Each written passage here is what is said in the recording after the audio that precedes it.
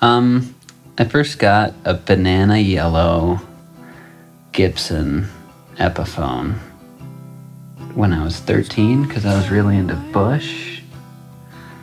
Um, but then I stopped being into Bush like shortly thereafter. And then I started to learn how to sing by covering Sublime songs.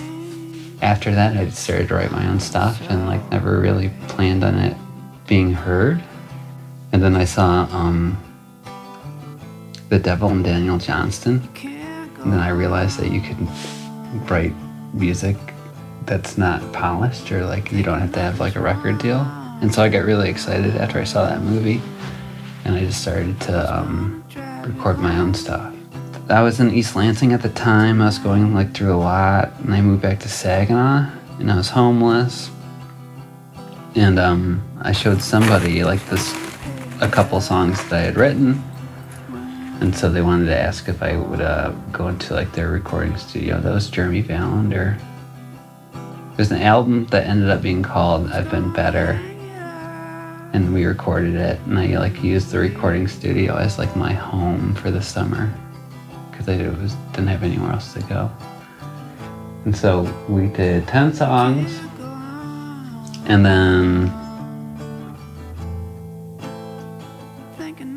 Um, I had a warrant out for my arrest. I'm not sure how much this I Um, but um, the, like the, after we finished everything that had to be done with the record, the night of, the Michigan State Police Fugitive Task Force came and got me from the Behringer Building, from the building.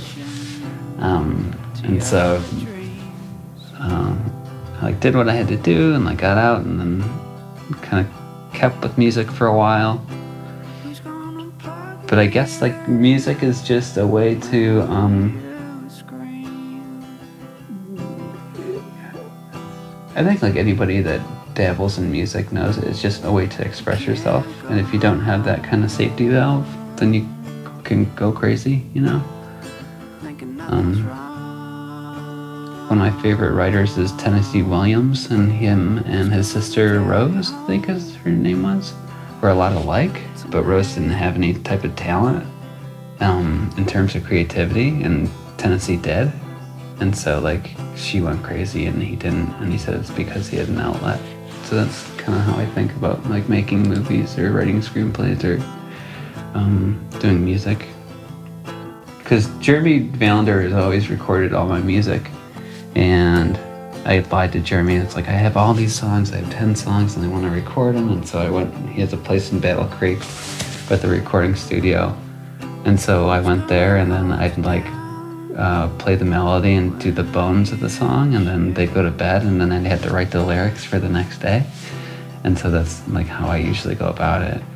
And my main focus of um, a structure of a song is that it shouldn't be over two minutes.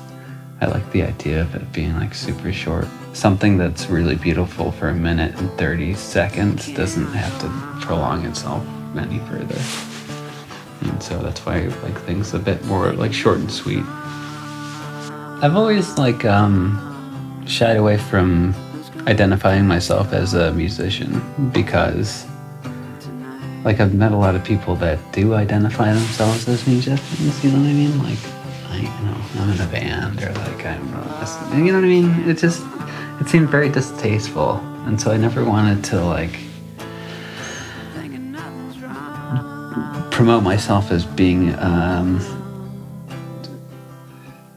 like a folk singer or anti-folk singer. And um, I was talking with someone that I was friends with in Ann Arbor, and he actually used to be in Kid Rock's band, like during when they recorded like Ball with the Bar or like whatever, like Cowboy, all those. He was the bassist for like that band. And I told him I was like, you know, I don't really care about like self promotion. And he's like, well, then you're never gonna be a musician. and then I was like, yeah, okay. I'm not like a huge fan of Jack White, but what he had said one time is like, you just get that, you have to get out of your own way, which is hard to do. Because like if you're writing a song you have to think that it's going to be for an audience, right? You have to think that you're going to do something, you're going to produce something, or you're going to create something for somebody.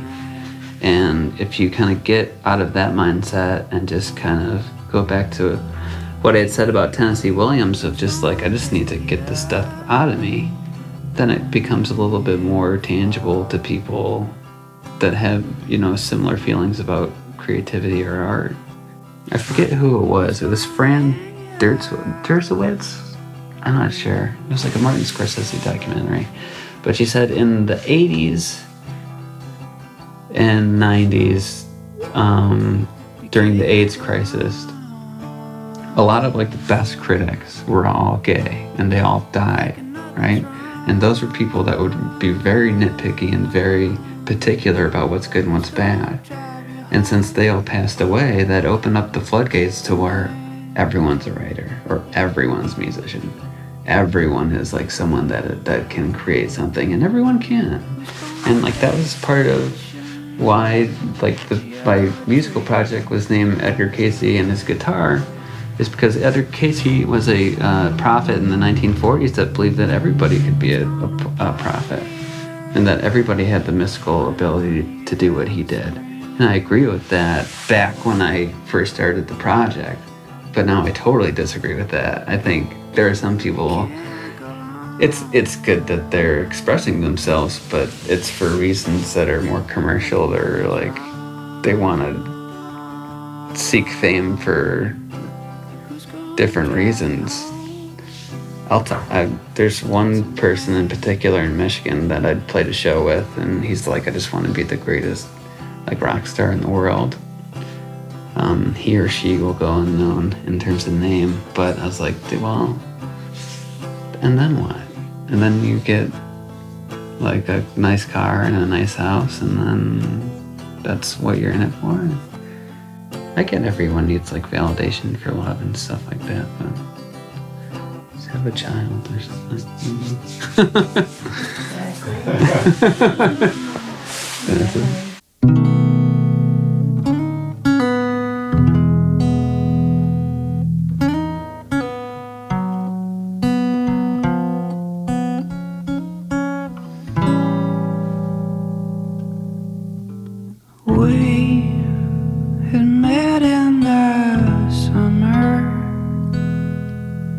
when it was warmer and the days were long.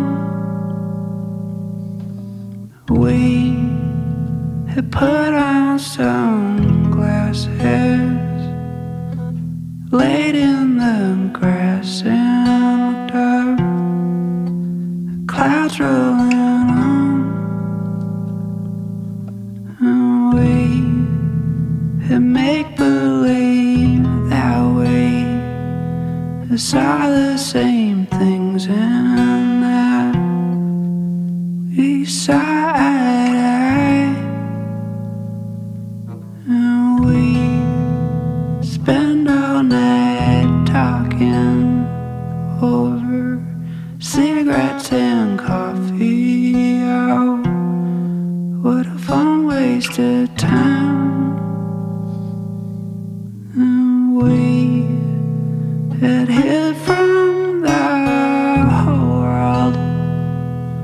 Cause we had each other, and that seemed just.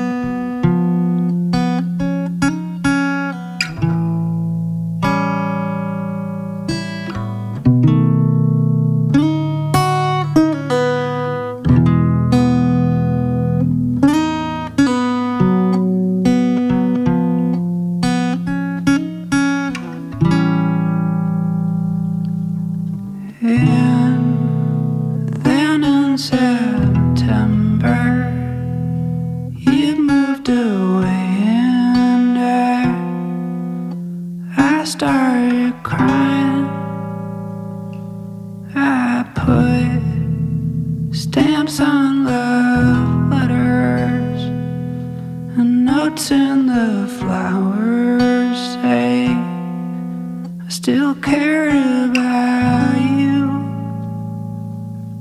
And I, wait.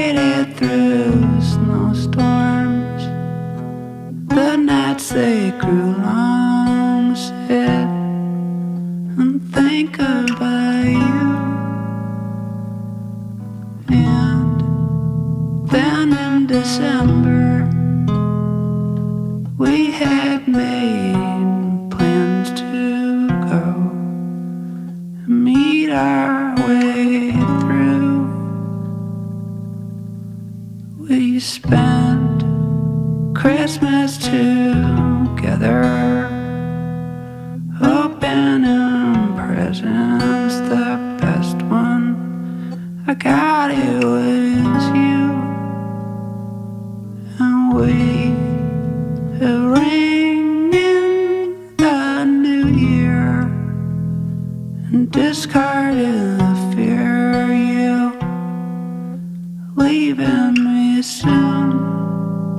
Cause you said that we'll meet in the summer when it is warmer and we'll